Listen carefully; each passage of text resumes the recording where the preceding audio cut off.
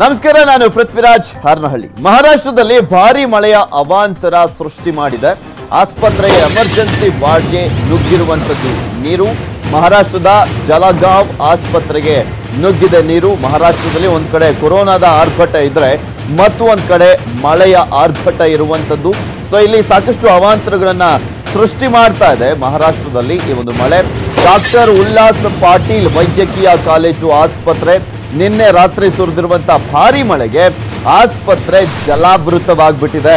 ಇದರಲ್ಲಿ ಎಮರ್ಜೆನ್ಸಿ ವಾರ್ಡ್ನಲ್ಲಿದ್ದಂಥ ಎಂಟು ಮಂದಿ ರೋಗಿಗಳನ್ನ ಶಿಫ್ಟ್ ಮಾಡಲಾಗಿದೆ. ಎಂಟು ಮಂದಿ ರೋಗಿಗಳು ಎಮರ್ಜೆನ್ಸಿ ವಾರ್ಡ್ನಲ್ಲಿದ್ದರು ಅವರನ್ನ ಶಿಫ್ಟ್ ಮಾಡಲಾಗಿದೆ.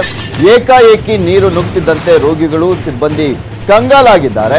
ನೀರು ನುಗ್ತಿದ್ದಂತೆ ರೋಗಿಗಳನ್ನ ಬೇರೆ ವಾರ್ಡ್ಗೆ ಶಿಫ್ಟ್ ಮಾಡಲಾಗಿದೆ. ಕೊರೋನಾದ ಜೊತೆಗೆ ಭಾರಿ ಮಳೆಗೆ ಮಹಾರಾಷ್ಟ್ರ ತತ್ತರಿಸಿ ಹೋಗ್ತಾ ಇದೆ.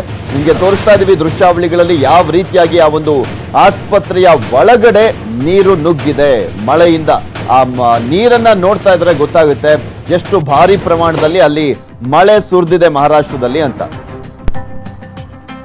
ಇನ್ನು ಈ ಕುರಿತಂತೆ ಹೆಚ್ಚಿನ ಡೀಟೇಲ್ಸ್ ಅನ್ನ ನೀಡ್ತಾರೆ ನಮ್ಮ ಪ್ರತಿನಿಧಿ ಧರಣೀಶ್ ಬೂಕನಕೆರೆ ದೂರವಾಣಿ ಸಂಪರ್ಕದಲ್ಲಿದ್ದಾರೆ.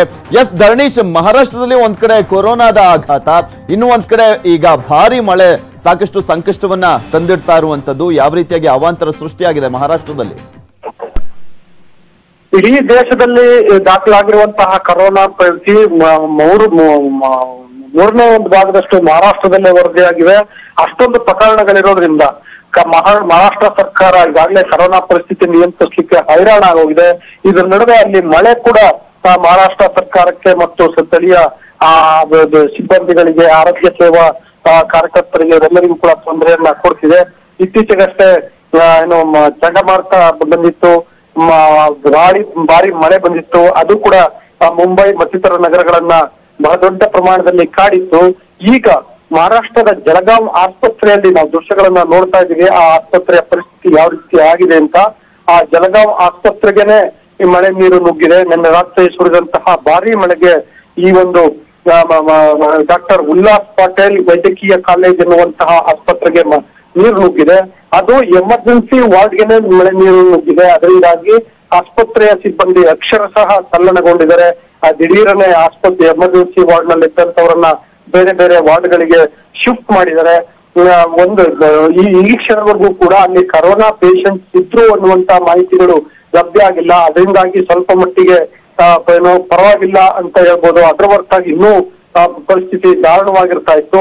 ಸೊ ಈ ಒಂದು ಎಮರ್ಜೆನ್ಸಿ ವಾರ್ಡ್ನಲ್ಲಿ ಇವತ್ತು ಎಂಟು ಜನ ಇದ್ರು ಅನ್ನುವಂತ ಮಾಹಿತಿಗಳು ಕೂಡ ಲಭ್ಯ ಆಗ್ತಿದ್ದಾವೆ ಅವರೆಲ್ಲರನ್ನೂ ಸದ್ಯಕ್ಕೆ ಬೇರೆ ಬೇರೆ ಕಡೆಗೆ ಶಿಫ್ಟ್ ಮಾಡಿ ಅವರಿಗೆ ಅಲ್ಲಿ ಚಿಕಿತ್ಸೆ ಕೊಡುವಂತ ಆಗ್ತಿದೆ.